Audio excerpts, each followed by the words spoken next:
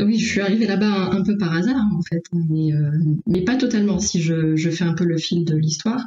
Oui. Parce que, bah, à la base, j'ai fait des études de droit. j'avais, vraiment comme objectif, qui, qui, est encore un objectif à long terme, euh, de, de, préparer le concours de la magistrature euh, pour être, euh, pour être juge. Et en fait, je me suis posé la question, je me suis dit, mais si je veux être juge, enfin, c'est déjà quand même un, euh, voilà, je me suis dit, mais pour qui, pour qu'elle se prend pour être juge? Mais si je veux être juge, il faut quand même savoir concrètement euh, quel impact j'ai sur la société. Et on pense souvent euh, à l'aspect pénal, et à l'emprisonnement de, personnes condamnées. Le juge a quand même le pouvoir de mettre euh, des gens en prison.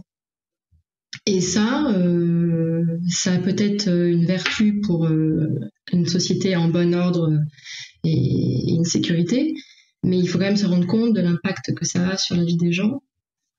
Et donc, je me suis dit, allons déjà voir l'intérieur des prisons.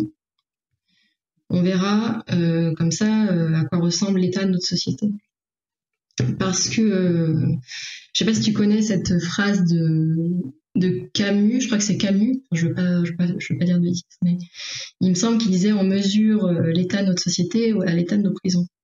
D'accord. Et, et j'avais envie de voir en fait. Et je me dis, est-ce que je, voilà, est-ce que déjà je suis capable de voir? Et est-ce que je suis capable de faire ça? Donc autant commencer par, par le commencement.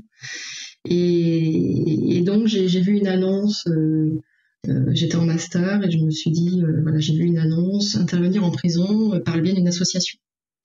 Je me suis dit, c'est l'occasion rêvée, sachant que l'administration pénitentiaire n'est pas du genre à ouvrir ses portes facilement.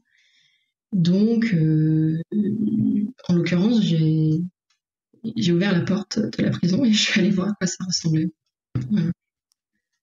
Et par la suite, euh, j'ai fait des études de droit, j'ai continué, je suis allée à Paris.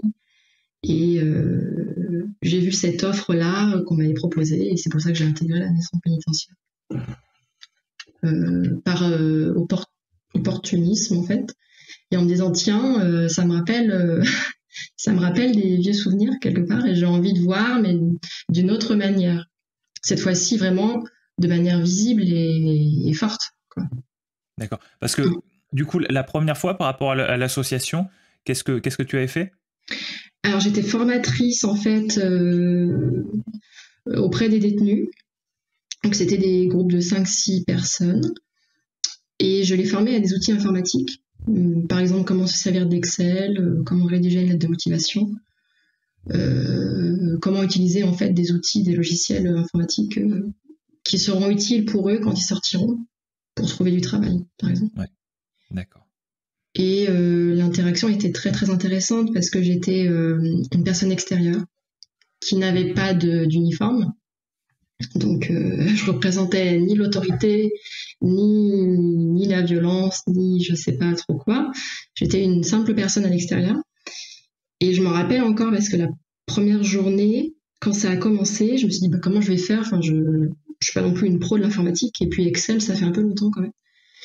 Euh, on m'avait donné un bouquin et on m'avait dit euh, bah vas-y euh, bon courage. Donc j'étais j'étais juste seule face à cinq personnes qui avaient grosso modo mon âge quoi.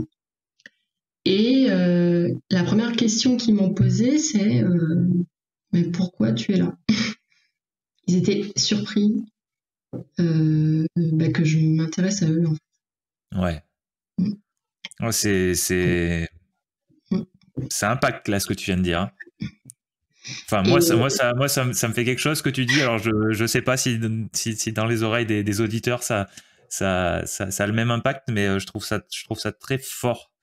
Et du coup, je te laisse, je te laisse euh, élaborer là-dessus parce que ouais, bah, j'étais également surprise de la réponse, enfin de la question. Ouais. Et donc, je leur ai dit, bah, je, j'interviens pour, euh, euh, former sur un certain point. Et ils m'ont répondu, mais euh, c'était au mois d'août, hein, je précise que c'était au mois d'août. Ils m'ont dit, mais il y, a, deux choses à faire l'été que d'aller en prison.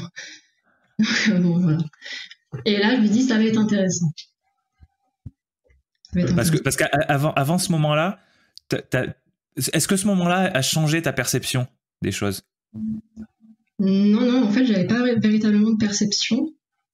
Je m'étais pas fait d'idées euh, pré préconçues, quoi. J'avais envie de voir par moi-même et euh, bon, je, t'avoue que j'avais j'avais un peu d'appréhension quand je suis arrivée dans les dans les couloirs en fait, hein, parce que la prison c'est un univers très particulier.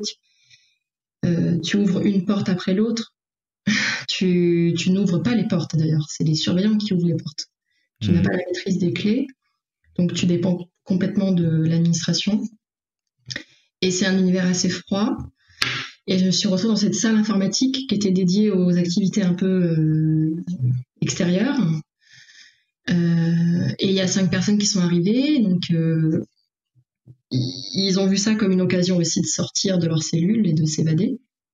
Et, euh, et, moi, je voyais ça comme quelque chose aussi de me sortir de mon quotidien et de, pas de m'évader, mais de comprendre un peu euh, quel est le profil, euh, pourquoi ils sont là et, et qu'est-ce qu'on peut faire pour eux, quoi. D'accord, donc ça c'était ta, ta, première expérience. Tu, tu, y allais, tu y allais pendant longtemps, euh, donner, donner ces cours d'informatique? Alors ça a duré un mois. Un mois. Ça a duré un mois. Et c'était très très fort et, euh, émotionnellement parce que euh, la discussion était Euh, il y a une confiance qui s'est créée dès le début justement et c'est là où je me suis dit en fait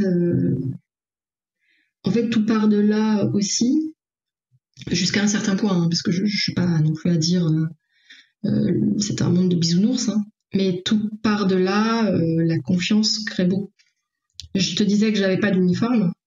Ça aide vachement. Il n'y avait pas de surveillant dans la pièce. J'étais seule avec eux. Donc, euh, ils étaient dans un moment un peu de liberté. Ouais, quelque part, ils pouvaient se s'exprimer euh, sans, sans se sentir euh, jugé d'avance un peu. D'accord. D'accord. Et c'est les cinq mêmes personnes que tu as vues pendant, euh, pendant tout le mois ou, tu en as vu combien? Alors, il y avait un groupe le matin, un groupe l'après-midi. D'accord. Euh, donc cinq le matin, cinq l'après-midi, mais c'était les mêmes. Euh, ce qui était intéressant, c'était le, suivi pédagogique en quelque sorte. C'est-à-dire qu'il y en a qui revenaient tous les jours, d'autres qu'on pouvait perdre dès le début, mais il y avait, il y avait une certaine assiduité quand même.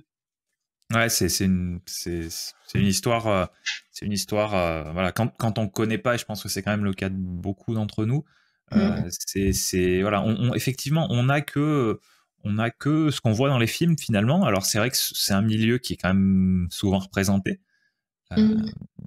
mais, mais bon, ça, ça, reste, ça reste des films, donc plus ou moins proche de la réalité. Donc toi, effectivement, quand, quand, quand, tu y es allé la première fois et, après pendant tout ce, tout ce premier mois, je suppose quand même que ça a eu, euh, ça, ça, a dû avoir un, ça, ça, a dû te changer. Ouais, ouais, ouais, ça a eu un impact fort, euh, mais ça m'a pas du tout euh, découragé de continuer dans cette voie. même si la tâche est extrêmement difficile.